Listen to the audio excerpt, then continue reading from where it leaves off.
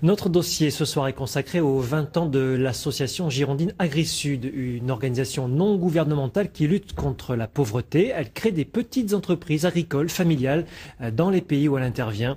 Des dizaines de milliers de personnes ont ainsi été sorties de la misère grâce aux emplois créés. Jean-François Mekel et Eric Barrère.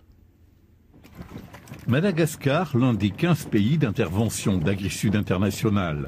L'ONG Girondine accompagne les populations les plus pauvres dans la création de TPE, très petites entreprises, des exploitations agricoles familiales produisant le plus souvent du maraîchage destiné à alimenter le marché local. On apporte euh, des compétences spécifiques en agronomie, en agroécologie, en économie, en, en accompagnement, en formation, pour pouvoir transférer les savoir-faire aux entrepreneurs et aux organisations aux associations qui accompagnent ces, entrepreneurs.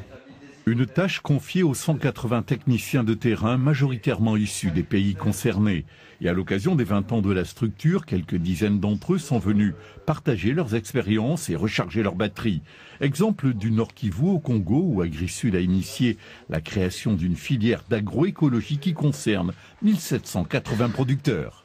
Beaucoup de productions essentiellement destinées à la commercialisation euh, pour l'alimentation des grandes villes, mais aussi de, la province du nord, euh, de, la province orientale, mais aussi une partie destinée à l'autoconsommation.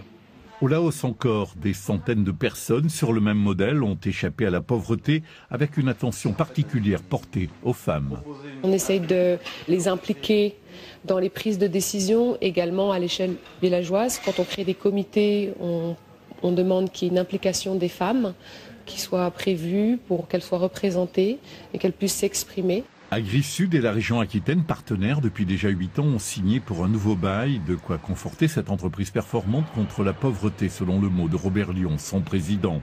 Bilan comptable, 37 500 créations d'entreprises durables et plus de 300 000 personnes sorties de la précarité.